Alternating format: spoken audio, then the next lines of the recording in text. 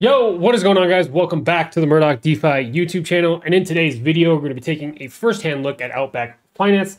It's another auto staking, auto compounding protocol or ASP for short. Um, that is getting ready to launch soon. They just had their whitelist pre-sale and they're going to have a public pre-sale tomorrow. Um, so wanted to be able to talk about Outback Finance today. Of course, what we're going to do is go over the documentation section figure out what they're talking about, go over this Medium post where they talk a little bit about this public pre-sale here and give them an overall rundown on Outback Finance. Uh, but before we do, of course, please subscribe to the YouTube channel here. If you are new, definitely welcome to the Murdoc DeFi YouTube channel. If you would like to continue to see videos like today pertaining to new crypto and DeFi uh, projects, protocols, whatever you want to call them, uh, then definitely consider subscribing if you find any value in today's video.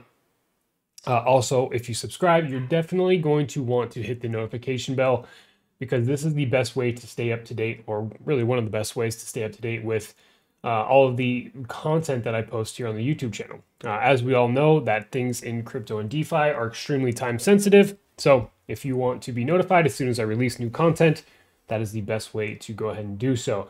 Also, there's going to be the first link in the description to the premium Discord server. This is where we do all of our whitelist spot giveaways, we do NFT giveaways, um, and you get access to these videos or the projects I make videos about uh, before they get uploaded here to the channel. So you can click that link, view the laundry list. There's there's a ton of other stuff. I won't go into everything, but like I said, you can click that first link and view all the benefits that you can take advantage of when signing up, right? So Outback Finance here, the site is pretty minimal, um, but we are going to check out their documentation section immediately. So as you can see is what is Outback Finance. So it is auto staking protocol that is engineered to provide easier staking instead of staking on a dApp. Outback Finance allows users to receive a rebase on their tokens directly to their wallet. The APY for Outback Finance is set at a permanent 300,000% uh, per year uh, and that is APY, not APR. With most generic staking protocols, APY fluctuates in coordination with the amount of users that are staking. This means that in basic staking protocols, the APY can change drastically by whale movements. As we all know, with these auto staking protocols, that that is not the case because this APY is fixed to whatever they, they set it at, right? all these auto staking protocols, uh, they have an, uh, elastic supply. Um, you know, so really, what makes these projects successful is what they do after launch, whether that's what they're doing with their marketing, uh, what they're doing to provide further utility to the protocol. But as we've all seen over the last couple of weeks, the potential to make money in these types of plays or in these types of protocol is very high, right? So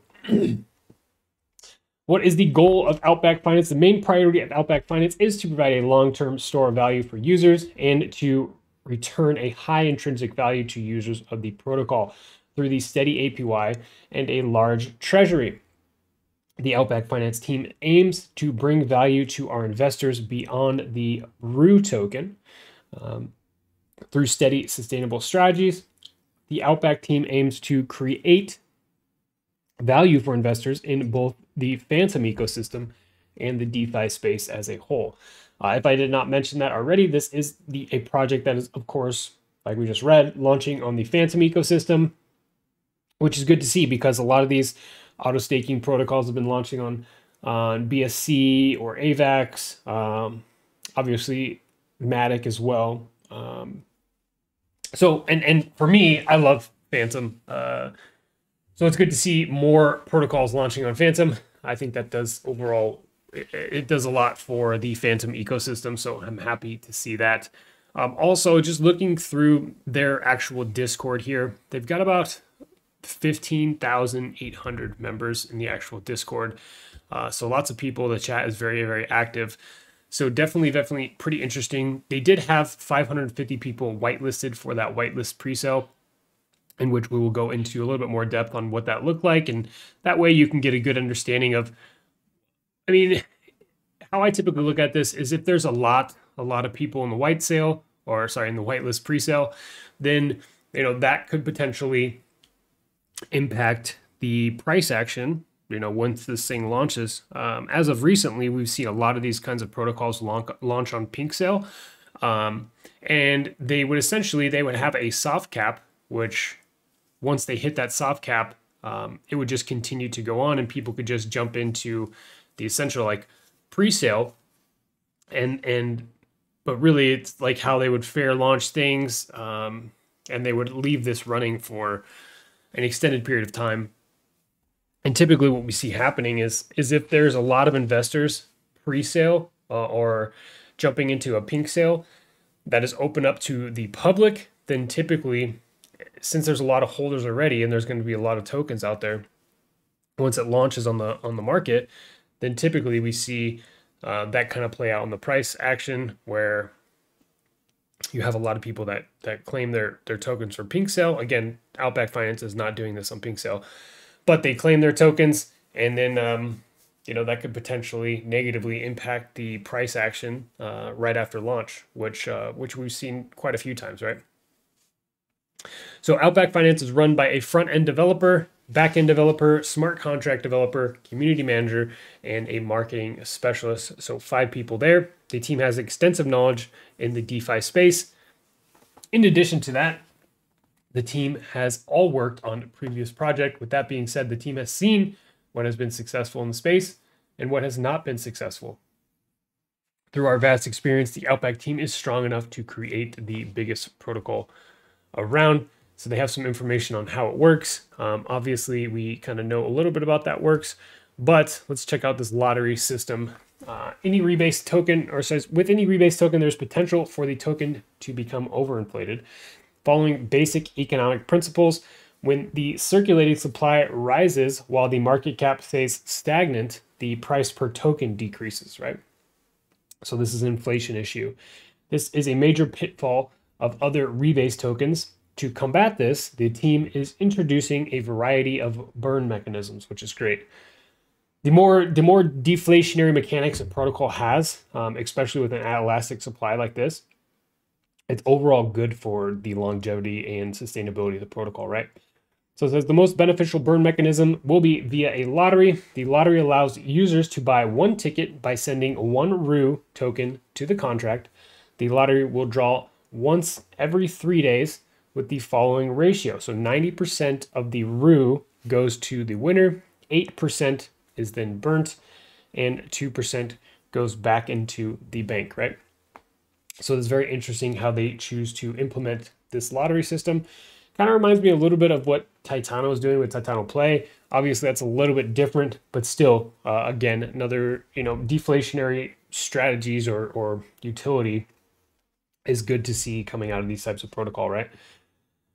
so with any rebasing token, our biggest concern is the market cap being stagnant. Um, again, if the market cap is stagnant, then this typically means that, um, well, a couple things, right? The the amount of tokens circulating is gradually increasing, like they're saying here, but also they they could potentially have be having less volume right? And as we know with these types of protocols, they thrive off buy sell tax to overall aid in the uh, the growth and um, sustainability of the protocol, right? So the taxes will be beneficial to the growth of both the treasury and the protocol. In short, the taxes benefit the long-term holders of RUE token that believe in the protocol. So they have their tre treasury here. The treasury is one of the most important aspects of bringing value into or to the users in the protocol. Building a deep treasury allows users to benefit from other means besides the RUE token. So the treasury will be established via the pre-sale. From there, the growth of the treasury will come from the taxation of the RUE token. The treasury is split up as follows. So 20% to high risk adverse assets, 50% to stablecoin staking and yield farming, and 30% to cross-chain yield farming and angel investments right? So this is what they're going to be doing to increase the overall size of their treasury, um, which is good, uh, right? We always want to see protocols doing this type of stuff rather than just laying, you know, or, or allowing the tokens to sit in the in the treasury and not be occurring any kind of yield on them. So this is good. Um, with basic staking alone, the treasury can go by 20%. By the calculations done by the team, even most minimal investments can lead to a minimum of a 400% gain in the current market conditions.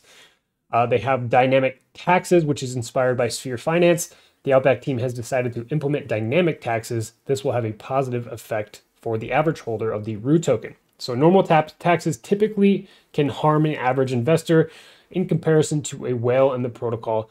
With dynamic taxes, all investors will be will not be harmed via the taxes.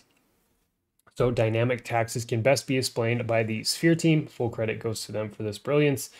And here is how that works, right? So dynamic taxes are an innovative concept created by the Sphere team, which aim to minimize price manipulation by taxing sales slash wallet transfers additionally based on how big of a shareholder uh, essentially they are, right, in correlation to the liquidity pool of Sphere, or in this case of the RUE token. Uh, this means that somebody with a lot of tokens in the ecosystem cannot dump the market without leaving a share of it in the hands of the community, making future attempts harder and harder. How many Sphere tokens you hold is taken into account when calculating how big of a share the LP you hold. For every 1% that you hold, the tax is increased 5% until there's a, total sale tax of 70%, right? So this is this is pretty crazy and this is kind of like a, a big kind of like an anti-whale mechanism.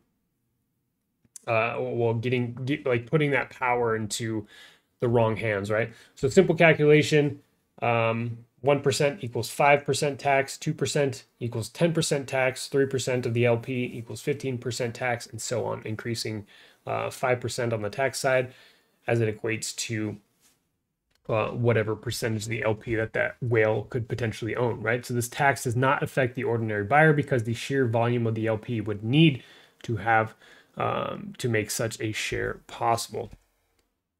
So that is a breakdown of their taxes um, on the the um, dynamics tax side of things. When we talk about buy sell taxes, we're looking at a 13% buy tax transfer tax. Uh, so meaning there's 13% tax every time you buy a token, which we'll get into how that's split up. But also, if you were to buy a token and then transfer that to another wallet, you're then also going to be taxed at another 13%. So just keep that in mind. This is very important to know. Uh, on sell tax, there is 20%. And as follows, you can see what the taxes are going to be actually used for. So the sell tax breakdown of that 20%. So 5% to the treasury, 10% goes to marketing, 10% to the liquidity pool.